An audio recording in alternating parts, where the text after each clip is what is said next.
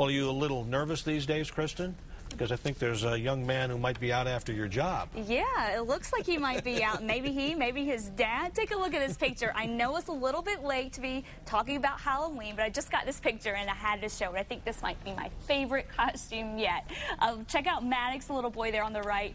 He was a weather map for Halloween, and his dad, I don't know if you can tell or not, but I think he's supposed to be storm clouds in that spring coming down. Well, Dad needs to work on his costume a little. Yeah, just a little, but I thought it was very cute. So uh, thanks for sending that in, uh, that from the Robinson family, and the weather was great for Halloween. It's been great so far this week, and we continue to see uh, the nice conditions across the state of New Mexico. Take a look at the numbers. Very mild out there right now. Uh, 62 in Santa Fe, 59 right now in Albuquerque, and already knocking on 70 degrees degrees down in the southeastern corner of the state.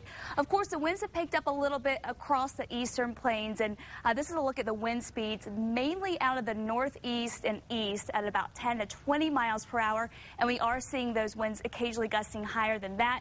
Uh, as of this hour, gusting up near 30 miles per hour over near Clayton, Tucumcari, Clovis. Uh, across the western part of the state, winds are fairly light here, so again, we will continue to see breezy conditions across the eastern half of the state, but those should start to taper off a little bit tonight. High pressure continues to be the main player in our weather. Back to our west, they're keeping the skies nice and clear across much of the western U.S., and it's going to continue to do so, keeping our conditions nice and mild and keeping those skies nice and sunny as we head through Wednesday or the rest of today, Thursday, Friday, even going into the weekend.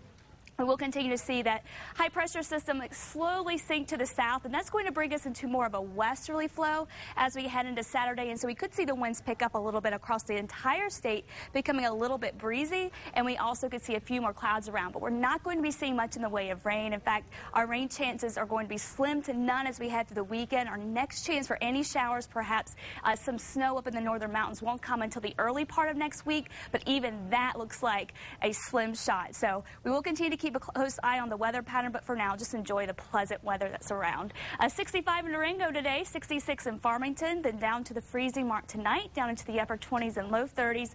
More mild weather through the rest of the week with highs in the 60s to near 70 degrees in Farmington.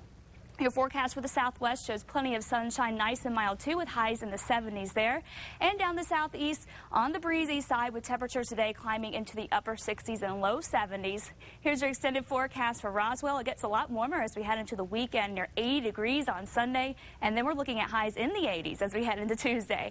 For the northeast, mostly sunny, breezy here with highs in the low to mid 60s. And over in the northern mountains, plenty of sunshine, a little cool over in Red River and Angel Fire, where highs there will only climb climb into the low to mid 50s. Santa Fe looking at more dry weather and nice conditions with highs in the low to mid 60s for the next uh, seven days, really.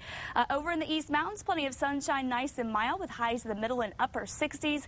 And for the metro area, another gorgeous day with plenty of sunshine, highs in the upper 60s and low 70s, and more nice weather to come. We'll continue to see those highs in the mid 60s to even near 70 degrees as we head into the weekend. Of course, we have that clock on there. Don't forget to change those back one hour as we go into Sunday. Okay, thank you, Kristen.